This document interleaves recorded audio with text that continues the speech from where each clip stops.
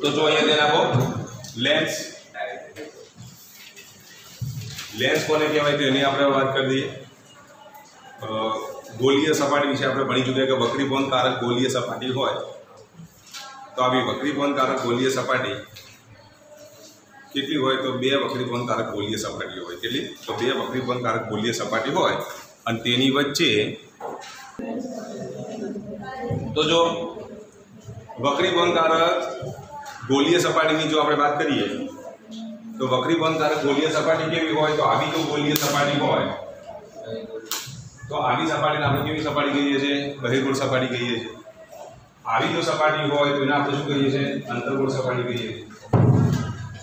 અહીંયા કેવું માધ્યમ હોય, તો પારદર્શક માધ્યમ હોય. કેવું માધ્યમ હોય? પારદર્શક માધ્યમ હોય.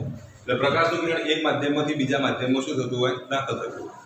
તો આવી વક્રીય વક્રીભવનકારક કેવી સપાટીઓ કહેવાય? ગોલીય સપાટીઓ જો આવી બે વક્રીભવનકારક સપાટીઓ હોય, આવી બે વક્રીભવનકારક સપાટીઓ હોય, અને તેની વચ્ચે આવું પારદર્શક માધ્યમ હોય, કેવું માધ્યમ હોય? પારદર્શક માધ્યમ હોય. જેમાંથી પ્રકાશ કિરણ દાખલ થઈ શકે વક્રીભૂત બહાર નીકળી શકતું હોય. તો પછી આવું જે તંત્ર જે બને, આના આપણે શું કહીશું? તો આવી જે રચના બને, આવું જે ઉપકરણ બને, આવા ઉપકરણને આપણે શું કહીશું? તો લેન્સ કહીશું. તો જેને કેટલી? બે વક્રીભવનકારક સપાટીઓ કેટલી બોલો? બે વક્રીભવનકારક સપાટીઓ વચ્ચે જો પારદર્શક માધ્યમ હોય, તો તેનાથી બનતી જે રચના જે છે, એ રચનાને આપણે શું કહીશું? લેન્સ કહીશું. બે વક્રીભવનકારક સપાટીઓ કેવી હોવી જોઈએ?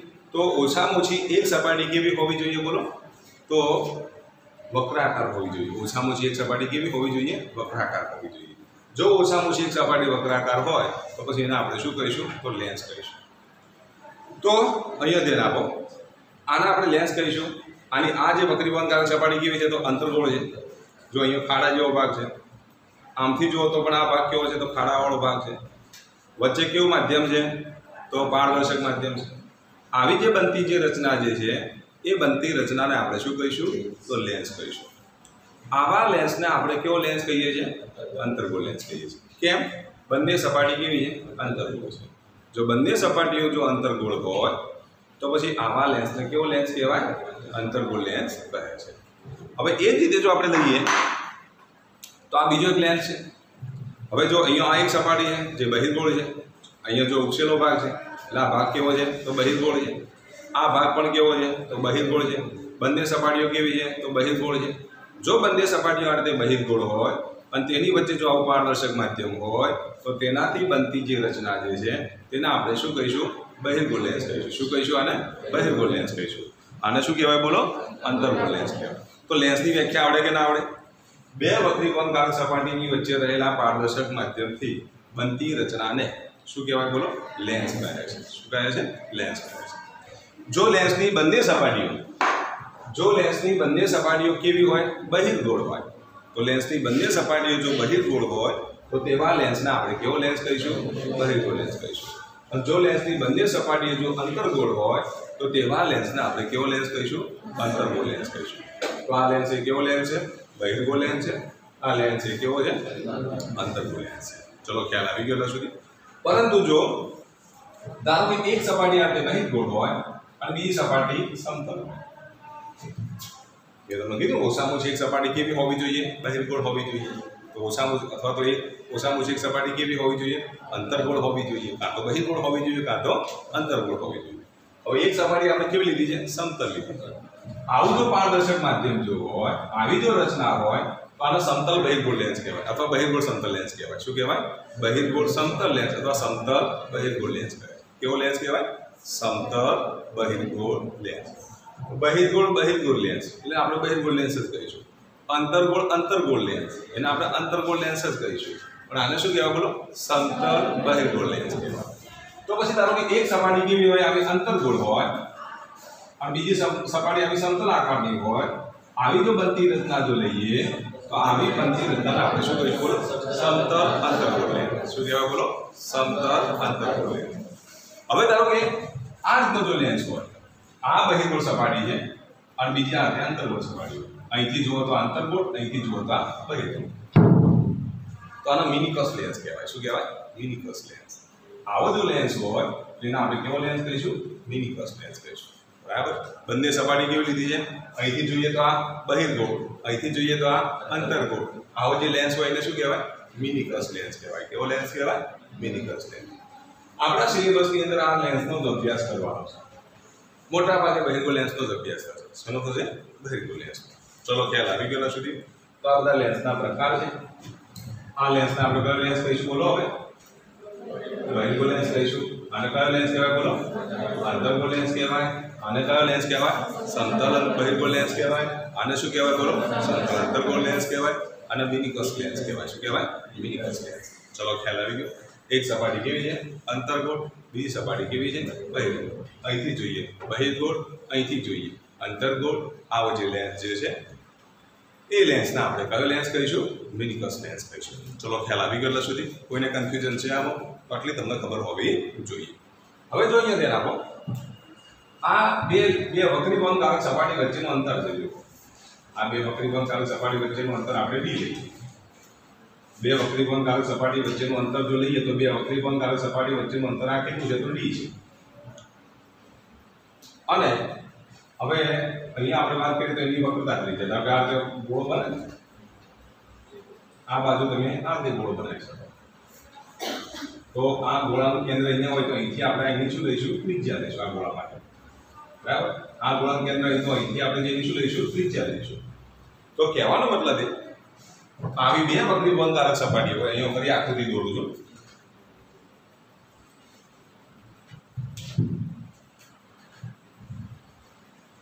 જો આવી બે વક્રી બંધારક સપાટીઓ ધારો કે આ આ એક સપાટી આ બીજી સપાટી આ આપણો બહિર્ગોળ લેન્સ છે. આ વક્રી બંધારક સપાટી જે બનાવવામાં આવે, એનાથી બનતો ગોળો આ હોય ગોળો ના બને હોય તો ગોળો સમજજો. તો આ ગોળો આ જે સપાટી છે એના માટે તો ગોળો બનાવીએ તો આ ગોળો આ રીતે બનશે.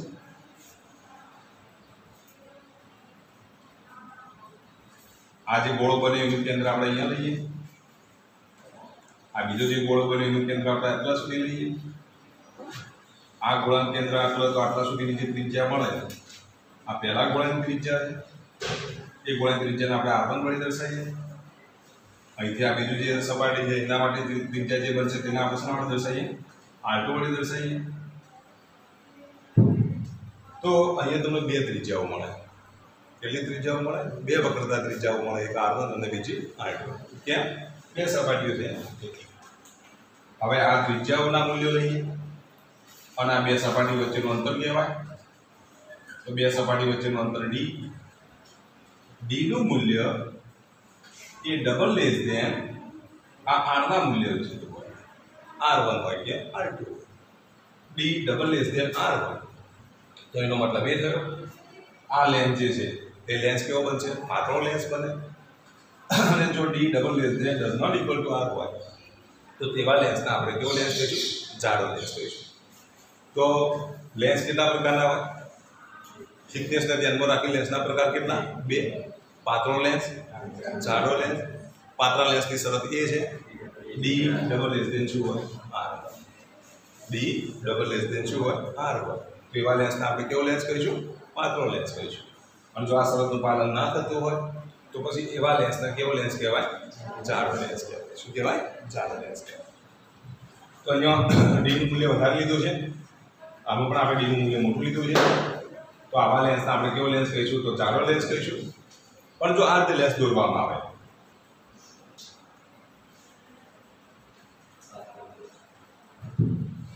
તો ડીનું મૂલ્ય ખૂબ જ નાનું થઈ ગયું નહીં બે સપાટીઓ વચ્ચેનું અંતર કેટલું છે આ બે બિંદુઓ છે બે ધ્રુવો વચ્ચેનું અંતર તમે માપો. તો મૂલ્ય કેવું છે?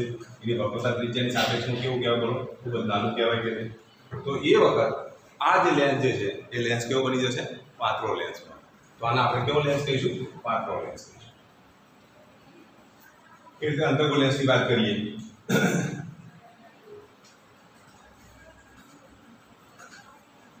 આ રીતનો લેન્સ હોય તો પછી આવા લેન્સને આપણે કેવો લેન્સ કહીશું પાતળો લેન્સ કહીશું તો થિકનેસને ધ્યાનમાં રાખીને લેન્સના કેટલા પ્રકાર બને બોલો બે પ્રકાર બને જાડો લેન્સ અને પાતળો લેન્સ જાડા લેન્સ અને પાતળા લેન્સ વચ્ચેની શરત કહીએ તો D double less than R પર ડી અંતર કઈ રીતે માપી શકો બે ધ્રુવો વચ્ચેનું અંતર. આનું ધ્રુવ બિંદુ અહીંયા મળશે. આનું ધ્રુવ બિંદુ અહીંયા મળશે. તો બે ધ્રુવો વચ્ચેનું જે અંતર જે છે, એ અંતરને આપણે શું કહીશું બોલો?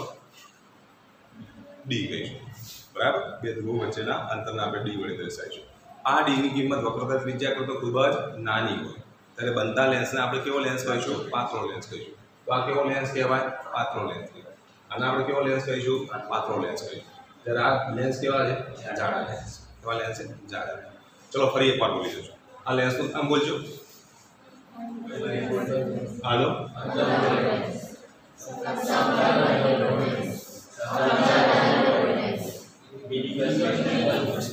ચલો ખ્યાલ આવી ગયો તો આ લેન્સના શું છે પ્રકારો છે થિકનેસને અનુલક્ષીને કેટલા પ્રકાર? બે. કયા કયા બે પ્રકાર બોલો? જાડો જાડો લેન્સ અને પાતળો. જાડા લેન્સની શરત અને પાતળા લેન્સની શરત કઈ? ડબલ લેન્સ દેન આર અને પેલામાં D does not equal to R તો પછી શું તો D double lens than does not equal to R તો પછી શું લખાય બોલો? આને કેવો લેન્સ કહેવાય? જો શરતનું પાલન ના થતું હોય તો ચલો ખ્યાલ આવી ગયો તો સુધી. હવે જો અહીંયા નાખો લેન્સ માટે અંતરો હંમેશા ક્યાંથી માપવા હોય એ મોટા મોટો પ્રશ્ન થઈ ગયો.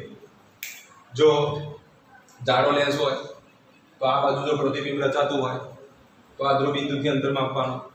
વસ્તુ જો મૂકેલી હોય, વસ્તુ જ્યારે અહીંયા મૂકવામાં આવે, તો લેન્સને બે વક્રીભવનકારક સપાટી હોય. જો લેન્સને બે વક્રીભવનકારક સપાટી હોય, તો આટલું યાદ રાખવાનું. જાડા લેન્સ માટેની વાત કરું છું. જાડા લેન્સ માટે ધારો કે વસ્તુ આપણે આ બાજુ મૂકી દીધી. અહીંથી પ્રકાશનું કિરણ આવશે. પહેલી સપાટી વડે શું થશે? વક્રીભવનની ઘટના જોવા મળે. જ્યારે પહેલી સપાટી વડે જ્યારે વક્રીભવનની ઘટના જોવા મળે ત્યારે જો જાડો લેન્સ હશે તો પહેલા બિંદુથી, આ ધારો કે પહેલો ધ્રુવ બિંદુ છે, એને આપણે પી વન વડે દર્શાવીએ. આ બીજું ધ્રુવ બિંદુ છે, એને આપણે પી ટુ વડે દર્શાવીએ. વસ્તુને આપણે અહીંયા મૂકીશું. જ્યારે વસ્તુને આ બાજુ મૂકવામાં આવે ત્યારે અહીંથી આવતું જે પ્રકાશનું કિરણ, આ પહેલી વક્રીભવનકારક સપાટી છે વક્રીભવન કારણ સપાટીથી શું થશે વક્રીભવનની ઘટના જોવા મળે. જ્યારે પહેલી સપાટી વડે જ્યારે વક્રીભવનની ઘટના જોવા મળે ત્યારે વસ્તુ અંતર તમારે શું માપવાનું? ક્યાંથી માપવાનું બોલો? પી વનથી માપવાનું. પ્રતિબિંબ અંતર પણ તમે ક્યાંથી માપશો? પી વનથી માપશો. ચલો, ખ્યાલ આવી ગયો. પરંતુ હવે જો આ બીજી વક્રીભવનકારક સપાટી છે, તો બીજી વક્રીભવનકારક સપાટી માટે તમે શું કરશો? કારણ કે બે વખત પ્રકાશના કિરણનું વક્રીભવન થાય છે. પહેલી ગોળીય સપાટી માટે તમે સૂત્ર વાપરી શકો. પહેલી સપાટી માટે તમે કયું સૂત્ર વાપરી શકો? તો જો અત્યારે તમે જે થિયરી લખીએ કયું સૂત્ર આવે તો માઇનસ એન વન અથવા તો જો N two upon V minus N one upon U બરાબર N two minus N one upon R આ સૂત્રનો તમે અહીંયા ઉપયોગ કરી શકો. કેમ? કે વખરી બંધારક સપાટીથી જેમ પહેલામાં આપણે લેન્સ અરીસા માટે તમે કયું કયું સૂત્ર વાપરતા હતા? ગાઉસનું સમીકરણ. કયું? તો વન અપોન એમ બરાબર વન અપોન યુ વત્તા વન અપોન બી એમ અહીંયા પણ તમે પહેલી બંધ કાળો સપાટી માટે આ સૂત્રનો ઉપયોગ કરી શકો. પણ એ વખતે તમે જે યુ માપો, એ પી વનથી માપવું પડે. પ્રતિબિંબ જે મળે, એ વી ક્યાંથી મળે? પી વનથી મળે. વક્રતા ત્રિજ્યા પણ માપવાની? તો પહેલી વક્રી બંધારક સપાટીની ત્રિજ્યા તમારે અહીં લખવી પડે. પહેલી વક્રી બંધારક સપાટીની જો ત્રિજ્યા આર હોય, તો અહીંયા તમારે શું લખવા પડે? આર લખવા પડે. એન વન અને એનની વાત કરીએ, તો આ બાજુ જે માધ્યમ હોય, એનો વક્રી ભવનાંક તમારે કેટલો લેવાનો? એન વન લેવાનો. આ બાજુ જે માધ્યમ હોય એનો ભવનાંક એન ટુ લેવાનો. કારણ કે આપણે જે થિયરી લખાઈ એવું કીધું હતું કે આ બાજુ એન વન અને આ બાજુ એન ટુ એના પરથી આ સૂત્ર મળ્યું. બરાબર? આ એન ટુ છે તો અહીંયા આ બાજુ કયું માધ્યમ લીધું હતું? N one. આ બાજુ કયું માધ્યમ લીધું હતું? N two. એના પરથી આ સૂત્ર મળ્યું તો આને તમારે એન જ સમજવું ઘટ હોય કે પાતળો હોય, આને એન વન સમજો આને તમારે શું સમજવાનું? એન ટુ સમજો ચલો, ખબર પડી? પણ હવે બીજી વક્રી બંધારક સપાટી માટે તમે શું કરશો? તો જ્યારે બીજી વક્રી બંધારણ સપાટી માટેની જો વાત કરીએ, તો આના વડે જે પ્રતિબિંબ મળે એ આના માટે બનશે આભાસી વસ્તુ બને. આના માટેનું પ્રતિબિંબ. પહેલી વક્રી બંધારણ સપાટી વડે જે પ્રતિબિંબ મળ્યો, એ પ્રતિબિંબ અંતર, એ બીજી વક્રી બંધારણ સપાટી માટે શું બનશે? આભાસી વસ્તુ અંતર બને. શું બને? આભાસી વસ્તુ અંતર. ધારો કે પહેલી વક્રી બંધારણ સપાટી વડે, અહીંથી પ્રકાશ આ આપાર થાય, અને વક્રીભૂત થઈ એનું પ્રતિબિંબ. આટલે મળે છે. અહીંયા જો મળે પ્રતિબિંબ અંતર તો આ પ્રતિબિંબ અંતરને હું વી વન વડે દર્શાવી દઉં. ધારો કે આ વી વન છે. પહેલી સપાટી વડે મળે છે ને હું વી વન વડે દર્શાવું. આ પ્રતિબિંબ અંતર વી વન હવે જ્યારે બીજી વખતે પણ તારક સપાટી માટે આટલું યાદ રાખવાનું? આ જે પ્રતિબિંબ મળ્યું, એ આના માટે શું બનશે? આભાસી વસ્તુ બને હવે આભાસી વસ્તુ બની આના માટે. એટલે વસ્તુ અંતર કેટલું લેવાનું? પછી અહીંથી માપવું પડે. અહીંથી આપીએ તો કેટલું થાય બોલો? વી વન માઇનસ ડી જેટલું થાય કે જાડો લેન્સ લીધો છે એટલે. જાડો લેન્સ લીધો હોય તો આ ડી અંતર બાદ કરવું પડે ને? આ વી વનમાંથી આ ડી શું કરવું પડે? બાદ કરવું પડે. આ બની જશે વસ્તુ અંતર, બની જશે. શું બની જશે? વસ્તુ અંતર. વસ્તુ કઈ બાજુ રચાય બોલો? આપાત ગણની દિશામાં પડે એટલે બીજી વક્રીબંધકારક સપાટી માટે વસ્તુ અંતર તમે ધન લેશો કે ઋણ? તો ધન લેવું પડે. કેમ? કારણ કે આપાતગણની દિશામાં વસ્તુ પડેલી છે. એવું કહેવાય ને? આના માટે તો આપાતગણની દિશામાં વસ્તુ પડેલી. અને આપાતગણની દિશામાં જો વસ્તુ પડેલી હોય, તો વસ્તુ અંતર કેવું લેવું પડે? ધન લેવું. અને એ કઈ વસ્તુ કહેવાય? આભાસી વસ્તુ કહેવાય. ફરી પાછું તમે આના માટે તમે કયો નિયમ વાપરી શકો? તો વક્રીબંધકારક સપાટી માટેનો નિયમ વાપરી શકો. N two upon V minus N one upon U બરાબર N two minus N one upon R વાળું સૂત્ર વાપરી શકો. એ વખતે ત્રિજ્યા કોની લેવાની બોલો? બીજી વક્રીબંધકારક સપાટીની ત્રિજ્યા લેવાની. વસ્તુ અંતર પ્રતિબિંબ અંતર પછી તમારે શોધવાનું છે. વસ્તુ અંતર તમને જે મળ્યું હોય મૂકી દેવા ખ્યાલ આવી ગયો કે નહીં? તો આમ જાડા લેન્સ માટે અંતિમ પ્રતિબિંબ કેટલા અંતરે રચાશે? એ શોધવું હોય, તો તેના માટે બે વક્રીબંધકારક સપાટીઓ માટે આ સૂત્રનો તમારે ઉપયોગ કરવો પડે. ચલો, ખ્યાલ આવી ગયો. આપણા જે સિલેબસની અંદર જાડો લેન્સ છે જ નહીં. આપણે પાતળા લેન્સનો જ ઉપયોગ કરવાનો છે. કયા લેન્સનો ઉપયોગ કરવાનો છે? પાતળા લેન્સનો હવે જ્યારે પાતળા લેન્સ જ્યારે હોય, ત્યારે હવે અંતર ક્યાંથી માપવાનું? પી વનથી માપવાનું કે પી ટુથી માપવાનું? તો નહીં. એના ઓપ્ટિકલ કેન્દ્રથી માપવાનું. હવે ઓપ્ટિકલ કેન્દ્ર કઈ રીતે નક્કી થાય? તો જો, આ બંનેને જોડતું બિંદુ છે ને એમાંથી તમે આમ રેખા દોરી શકો જે બિંદુ આગળ છે ને એનું શું થશે ઓપ્ટિકલ કેન્દ્ર. તો આ ઓપ્ટિકલ કેન્દ્રથી તમારે અંતરો માપવાના થાય. આ બાજુનું અંતર તો ઓપ્ટિકલ કેન્દ્રથી માપો. આ બાજુનું અંતર તો ક્યાંથી માપવાનું? ઓપ્ટિકલ કેન્દ્રથી માપવાનું. તો આ જે ઓપ્ટિકલ કેન્દ્ર જે છે, એ ઓપ્ટિકલ કેન્દ્રથી તમારે અંતર માપવું પડે. જાડા લેન્સનું ઓપ્ટિકલ કેન્દ્ર કઈ રીતે નક્કી થાય? તો જો આ બિંદુ અને આ બિંદુને જોડતો રેખાખંડ તમે આ રીતે દોરો. આ બિંદુ અને આ બિંદુને જોડતો રેખાખંડ દોરો. તો આ જે એનો છેદ બિંદુ જે મળે, એ છેદ બિંદુ એનું શું કહેવાય? ઓપ્ટિકલ કેન્દ્ર કહેવાય. શું કહેવાય? ઓપ્ટિકલ કેન્દ્ર પણ આ બીને તમે અવગણી શકતા નથી. માટે આવી બાદ બાકી તમારે ત્યાં કરવી પડે. ચલો, ખ્યાલ આવી ગયો. જ્યારે આની અંદર ઓપ્ટિકલ કેન્દ્રથી તમારા અંતરો માપવાના. આ બાજુનું અંતર માપો, તો પણ ઓપ્ટિકલ કેન્દ્રથી આ બાજુનું અંતર માપો, તો પણ તમારે ક્યાંથી માપવાનું? ઓપ્ટિકલ કેન્દ્રથી માપવાનું. ચલો, ખ્યાલ આવી ગયો? તો આને આપણે શું કહીશું? તો લેન્સ કહીશું. શું કહીશું? લેન્સ તો પહેલાં હું લખાવડી દઉં તમે લખી દો.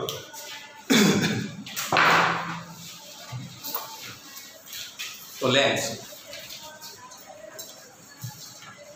લખો, બે વક્રી, બે વક્રીભવનકારક સપાટી વચ્ચે હા લેન્સની વ્યાખ્યા લખો. બે વક્રીભવનકારક સપાટી વચ્ચે રહેલા પારદર્શક માધ્યમને, રહેલા પારદર્શક માધ્યમને લેન્સ કહે છે. બે વક્રીભવનકારક સપાટી વચ્ચે રહેલા પારદર્શક માધ્યમને લેન્સ કહે છે. પારદર્શક માધ્યમને લેન્સ કહે છે.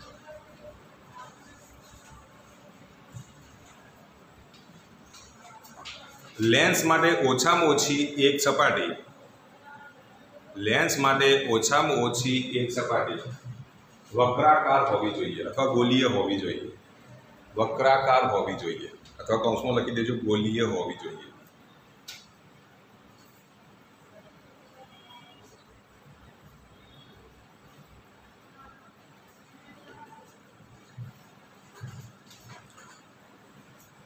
હવે લખો લેન્સના પ્રકારો.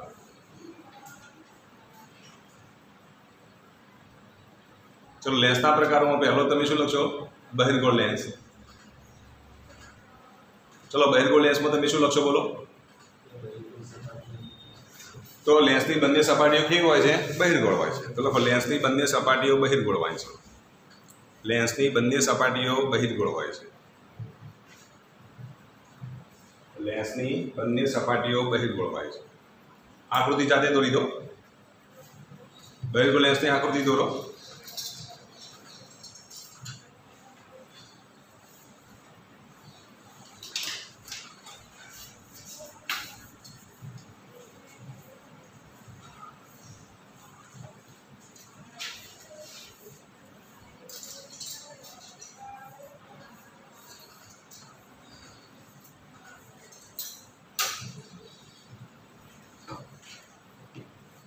જાડો બહિર્ગોળ લેન્સ દોરી દેજો અને પાતળો બહિર્ગોળ લેસ લેસમાં પછી આટલું જ દોરવાનું તમારે. બહિર્ગોળ લેન્સ આટલો.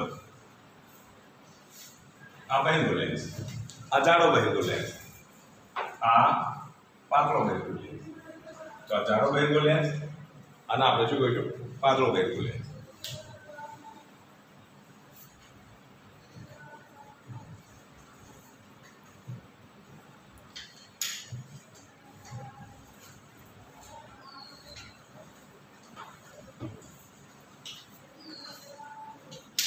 પછી એવો લખો અંતર્ગોળ લેન્સ વ્યાખ્યા જાતે લખો. અંતર્ગોળ લેન્સની આકૃતિ દોરી દો. આ જાડો અંતર્ગોળ લેન્સ આ પાતળો અંતર્ગોળ લેન્સ આ જાડો અને આ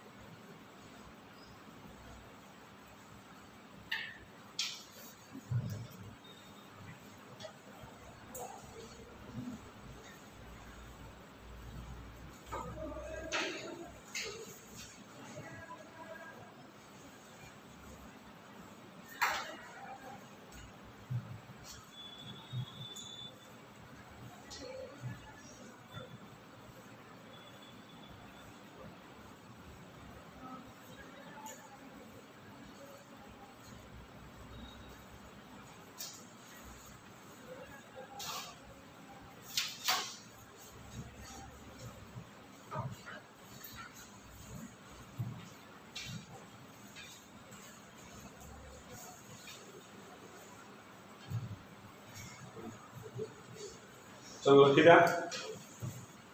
હવે જો તો અંતર્ગોળ લેન્સમાં શું લખ્યું તમે બોલો? જે લેન્સની બંને સપાટી કેવી હોય બોલો? અંતર્ગોળ હોય. તો તેના આપણે શું કહીશું? અંતર્ગોળ લેન્સ કહીશું. હવે લખો સમતલ બહિર્ગોળ લેન્સ તો જો આ સમતલ બહિર્ગોળ લેન્સ કેવો છે? પાતળો હોય. અને જો આવો હોય તો? આ જાડો. આ જાડો સમતલ બહિર્ગોળ લેન્સ આ પાતળો સમતલ બહિર્ગોળ લેન્સ આ પાતળો સમતલ ભેદ અને આ જાડો સમતલ બહિર્ગોળ લેન્સ જાડો. આ પાતળો વ્યાખ્યા શું લખો બોલો? જે લેન્સની એક સપાટી સમતલ હોય અને બીજી સપાટી બહિર્ગોળ હોય. એને આપણે શું કહીશું? સમતલ બહિર્ગોળ લેન્સ કહીશું.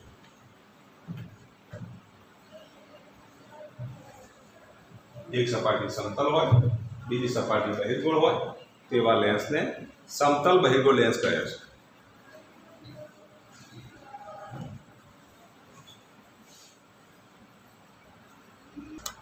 લખો સમતલ અંતર્ગોળ લેન્સ. સમતલ અંતર્ગોળ લેન્સ. ચલો સમતલ અંતર્ગોળ લેન્સની અંદર શું છે બોલો? એક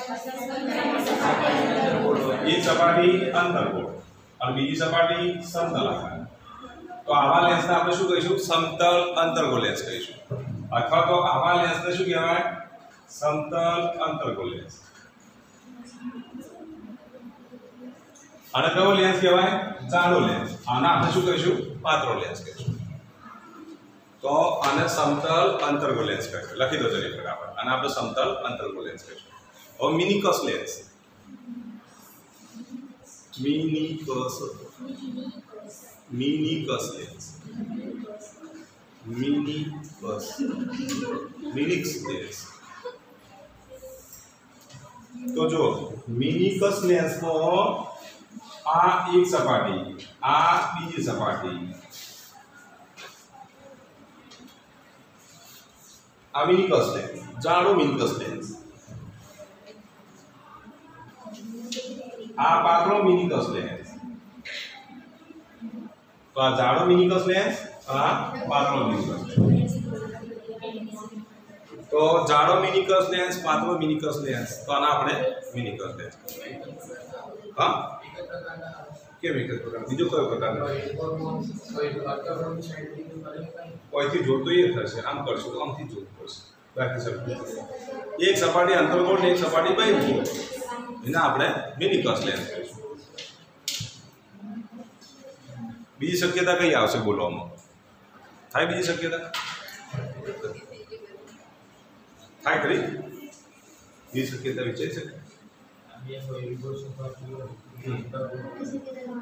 તો આમ લખીશું, તો પણ દોરાય તો એવું હોય અંતે તો મિની કસ આને ફેરવી દીધું. આ લેન્સને આપણે આમ ફેરવી દીધું. બાકી તો મિની કર લે. બરાબર? એક સપાટી અંતર ગોળ ને બીજી સપાટી બહિર્ગોળ બહારની સપાટી બહિર્ગોળ ને અંદરની સપાટી અંતરગોળ અંદરની અંતરગોળ બહારની બહિર બહાર બહિર્ગોળ અં- અંદર અંતરગોળ અંદર અંતર બહાર બહિર્ગોળ મિની કર લેન્સ કોઈ લેન્સ થાય. અંદર અંતરગોળ બહાર બહિર્ગોળ મિની કસ લેન્સ શું બનશે? અંદર અંતરગોળ બહાર બહિર્ગોળ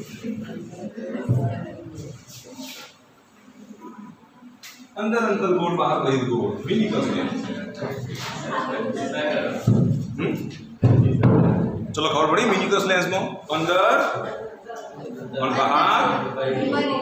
તો? મિની કસ લેન્સ હવે જાડા પાતળા લેન્સની શરત કઈ? જાડા લેન્સની શરત. લખી દો, શરત લખી દો. જાડા લેન્સની શરત.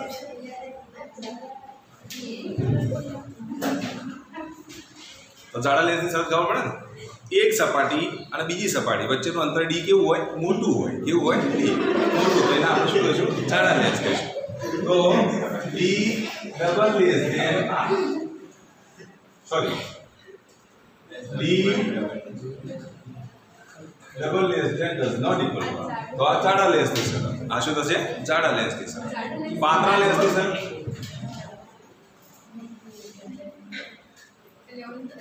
પાતળા લેન્સ માટે ડી ડબલ લેસ દેન આ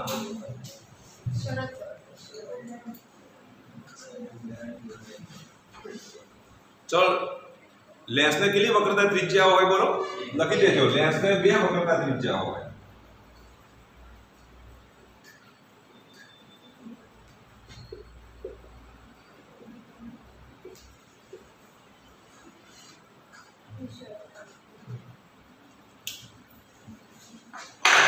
હવે જે પ્રયોગશાળામાં જે વપરાય ને લેન્સ એ આ પ્રકારના વપરાય છે એની આ આ બા- આ સપાટી અને આ સપાટી બંનેની વક્રતા ત્રિજ્યાઓ સમાન હોય આની આર વન અને આની આર ટુ આર વન અને આર ના મૂલ્યો કેવા હોય સરખા હોય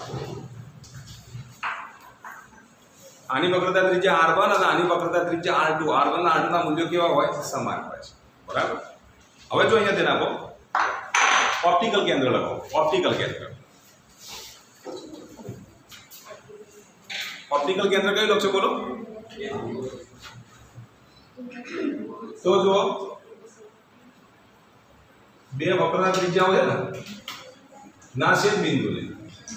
બે વક્રતા ત્રિજ્યામાંથી દોરેલા રેખાખંડોના છેદ બિંદુને શું કહેવાય? ઓપ્ટિકલ કેન્દ્ર. આમાં તો એક જ રેખાખંડ દોરી શકાય ને પણ આમાં તમે બે રેખાખંડ દોરી શકો.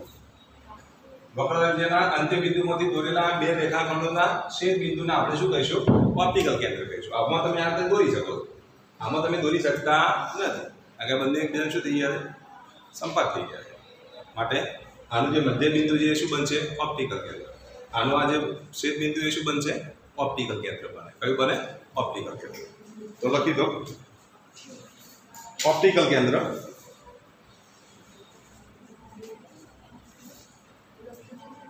લખી દીધી વ્યાખ્યા બોલો લખી દીધી હોય તો બોલો શરૂ શરૂ કરો બોલવાનું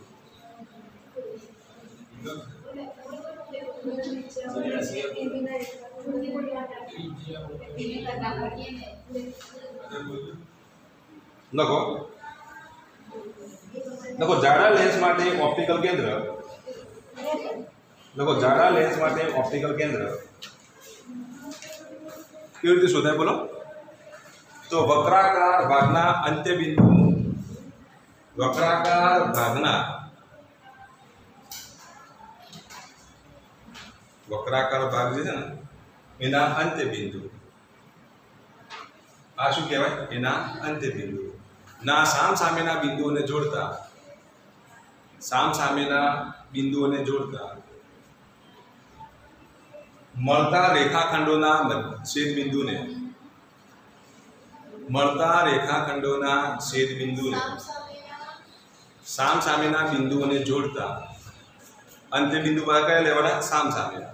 સામ સામેના બિંદુઓને જોડતા મળતા રેખાખંડોના છેદ બિંદુને શું કહેવાય બોલો? ઓપ્ટિકલ કેન્દ્ર